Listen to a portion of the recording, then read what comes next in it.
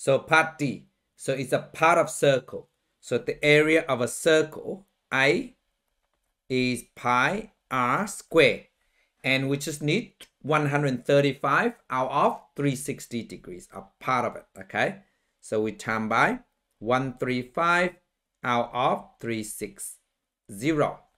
And we know that the radius of this sector here is 5.2.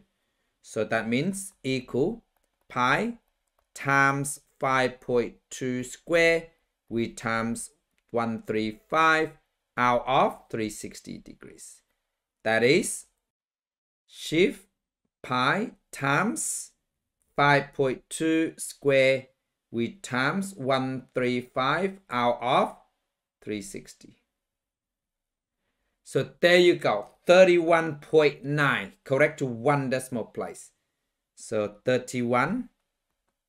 31.9 square centimeters.